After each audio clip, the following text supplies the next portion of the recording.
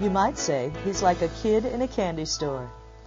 For more than 20 years, Dan Abel, founder of Chocolate Chocolate Chocolate, has been delighting his customers with his delectable chocolate creations. Several years ago, Abel decided he wanted to share his sweet success by expanding through franchising. I was looking at a way to grow my business, and I didn't know if I should acquire someone or be acquired or open more stores myself. I chose to go with franchising. Um, we looked at licensing, but licensing limited us on the amount of stores we could open. We could only open one or two stores in the St. Louis area. Franchising allowed me to grow throughout the country uh, with my name. Recently, Abel opened his sixth Chocolate Chocolate Chocolate franchise, and a seventh is launching in January 2004. Many business owners, like Abel, look to franchising as a way to grow their businesses. Franchising is an attractive expansion method because it doesn't require huge amounts of additional capital. However, before you jump into the franchising game, make sure you understand what it takes to become a successful franchisor. The first step is preparing the necessary legal documentation. Known as the Uniform Franchise Offering Circular, it is designed to give a prospective purchaser information that is deemed relevant in making a decision on whether or not to invest in the business. It must be presented with the first personal meeting to discuss a sale or 10 business days before the prospect pays money or signs a binding franchise agreement. There are about 20, over 20 items of various information that has to be included.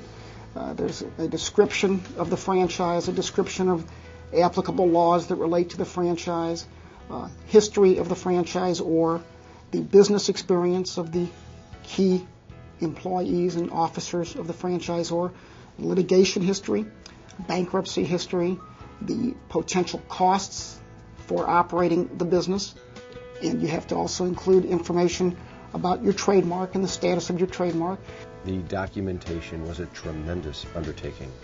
Um, my son in, in high school and my daughter in college and I spent uh, the summer gathering all the information. Um, our part was to gather all the information that, that we had to put into the document. There was the legal aspect, of course, um, which is pretty boilerplate for most franchises, but then we had all the documentation of how we're going to train, how much it's going to cost to open, what's initial inventory, how much packaging do you need, what kind of training do you need. Successful franchisors have systems or methods of operation that are easy to duplicate so that it is consistent most people who are buying a franchise, one of the reasons that they're going to buy the franchise is because they want to benefit from the franchisor's learning curve. They want to know that it's like going back to college in a sense or going to school to learn the ins and outs of running the business.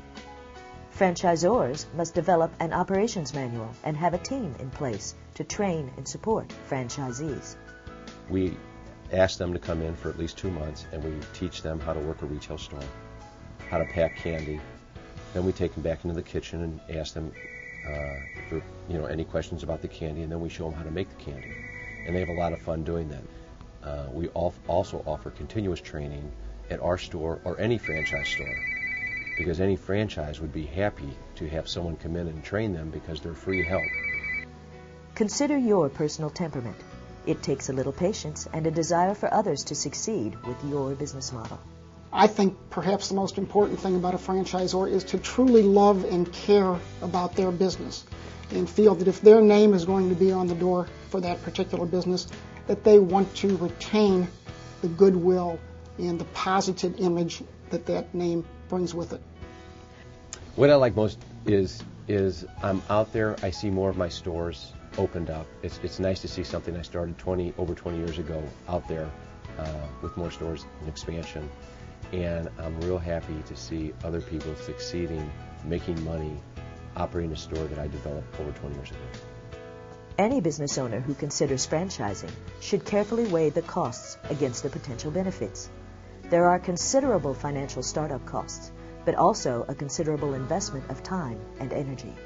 Uh, the other thing is that, you know, if you look at it and say, you know, the time and energy that I'm going to spend on this as opposed to the return on my investment. What would I expect to get back from the franchisees uh, if, if they buy a franchise? How much will I earn? I've had franchisors, for example, who have said, you know, it's really not worth it to me. The amount of time and effort that I have to spend to train them, to monitor them, to provide all of the support. I'm better off to take my money and open my own location and hire it and man it with my own people. However, for successful franchisors such as Dan Abel, the rewards are well worth the effort. I would highly recommend franchising to other business owners. It's, it's a lot of fun, and it, you can see your, your company grow that way as long as you can maintain control. And if you work that out, everything's fine. And it's, it's nice to see other people making money off of your product. I love chocolate.